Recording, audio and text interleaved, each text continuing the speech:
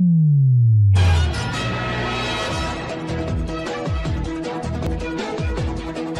watching Sun TV, broadcasting to the world from studios in Providenciales in the beautiful by nature Turks and Caicos Islands. Sun TV, your source for real news as it happens.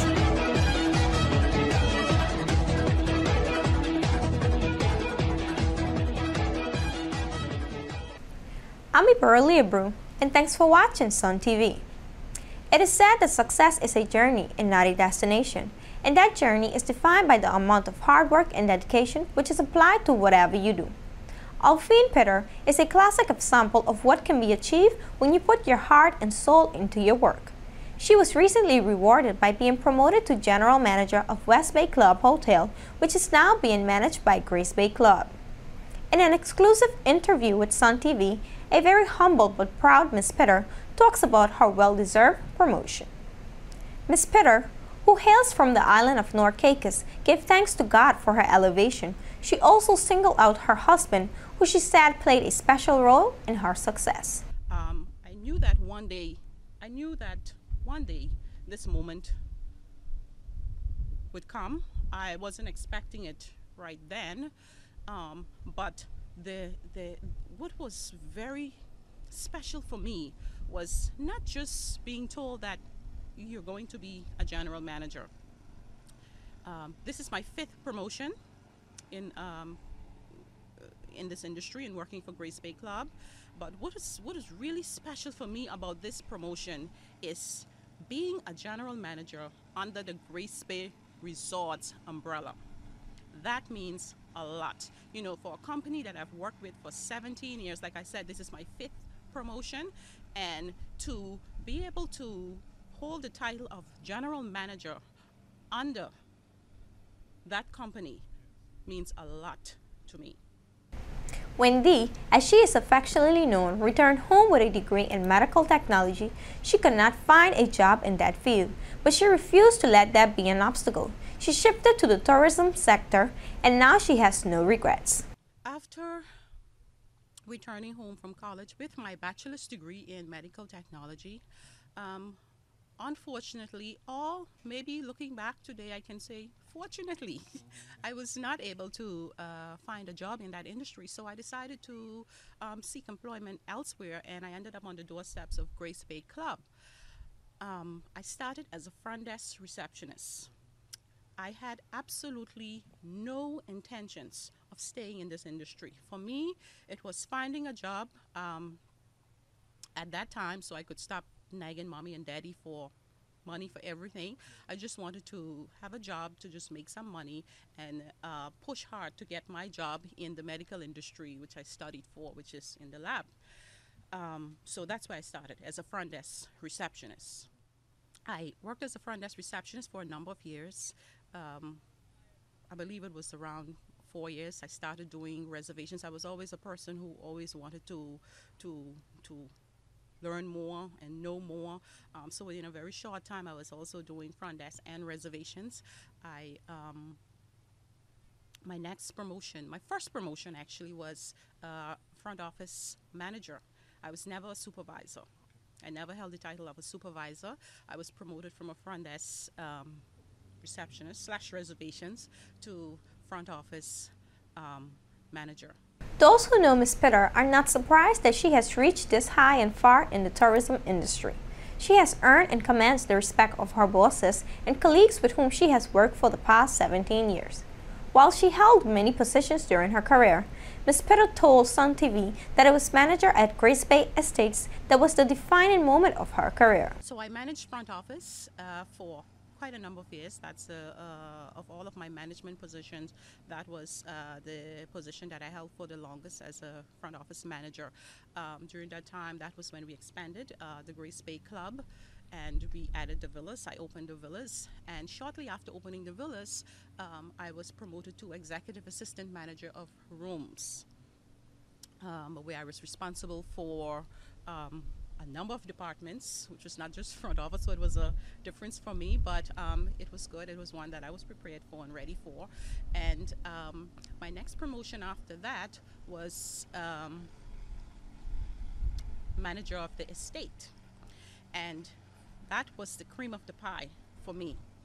Um, I became a state manager uh, July 1st of 2007. That's probably the only date of any promotion that I can remember. July 1st. And um, at that time, the estate was uh, pretty much at the second level, just being built.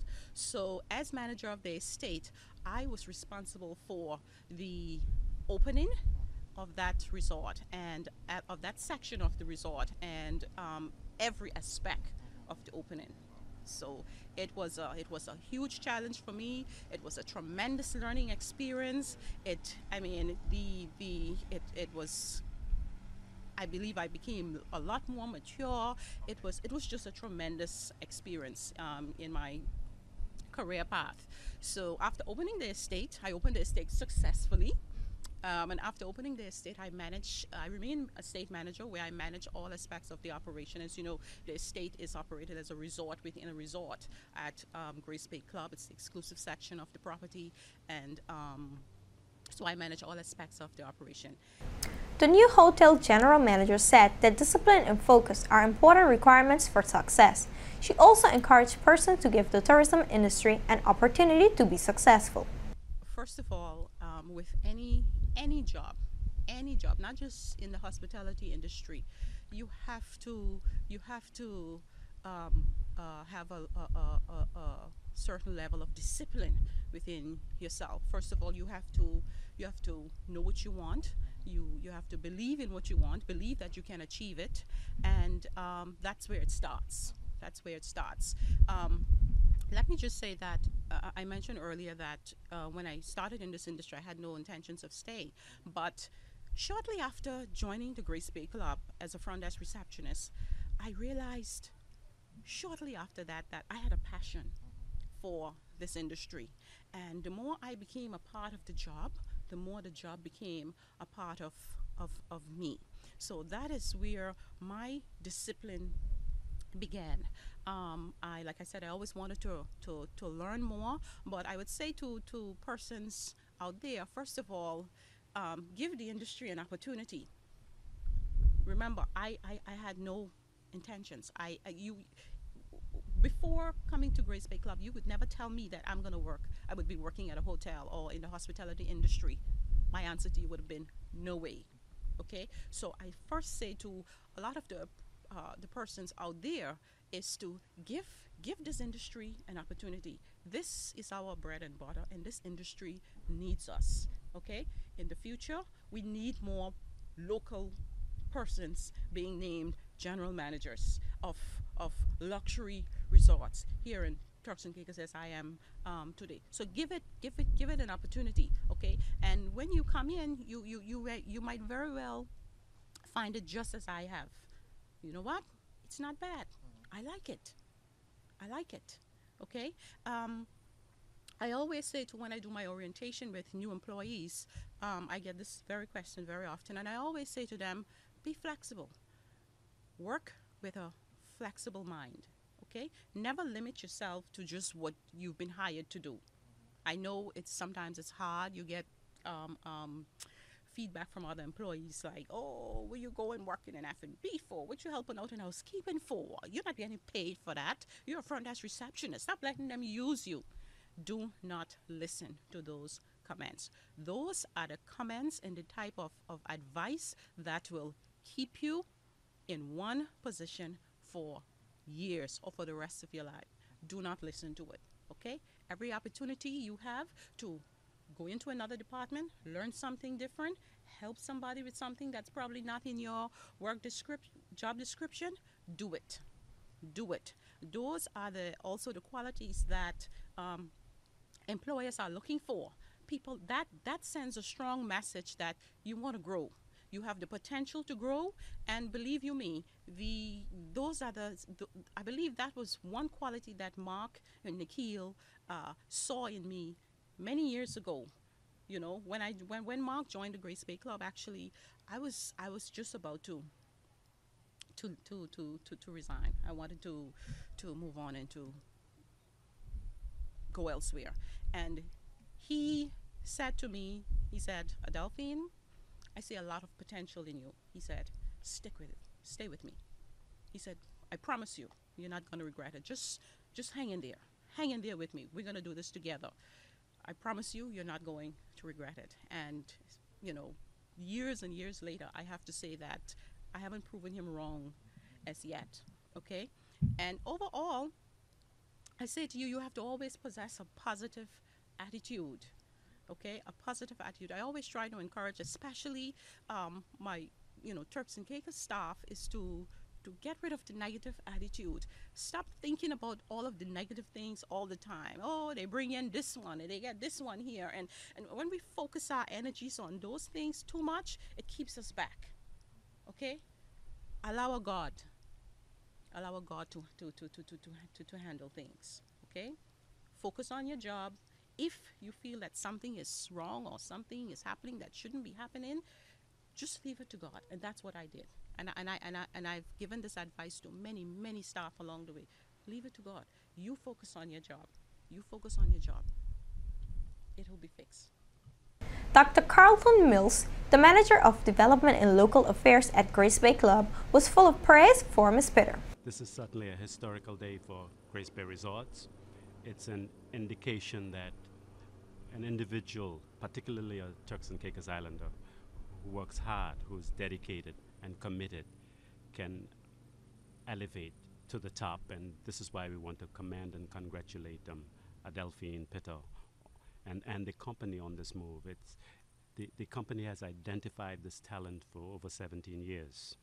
And um, with Nikhil as our mentor, it's, it's an indication that um, our company is committed to promoting Turks and Caicos Islanders.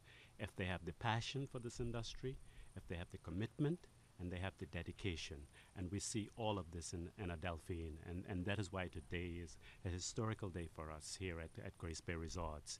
And um, Adelphine has now been promoted. Adelphine is a leader. Um, she works with us uh, on the Grace Bay Resorts Community Foundation. And um, she's dedicated. She she has a vision. She, she knows what she is about. Um, she, she is committed. Um, she is inspiring. She's innovative. She's an individual who can work uh, under minimum supervision. Um, so sh she's just an outstanding individual, and she has that drive, she has that enthusiasm, and above all else, she has that passion for what she does. And this is why she's she has elevated to this position today. It's not with favoritism; it's because of that dedication, that commitment. Um, and, and if you notice, um, her background basically was she was a medical. Um, she studied medical technology, um, she, and um, but now she's in hospitality. And in hospitality, we just basically need that passion, that positive attitude, and all of these qualities Adelphine brings to this industry. And I'm just hoping that um, other locals will follow her. And um, once you follow that pattern, you have that passion, you have that positive attitude, you can elevate to the top. That is what is required in this industry. And um, sometimes we, as, as, as Turks and Caicos Islanders, uh, don't want to uh, give our full commitment to, to what we do. Um, we, we are always being accused of a, a, a, um, our, our, work ethic. It is not positive enough. And um, I, I, I, think, uh, again, going back to Delphine, Adelphine, Adelphine demonstrates this kind of positive attitude. It's really the, the attitude and, as I said, the passion. She, she, she demonstrates, you know, that desire. This, this industry demands more than, it's, it's not really a nine to, to, to five job. It, it, demands going beyond the call of duty, as we say in the Turks and Caicos Islands. And, um, you know, th th that is what she has demonstrated. I'm Iberly Abru, and thanks for watching Sun TV News. Join us again tomorrow when we bring you real news as it happens, directly to your computer or mobile device.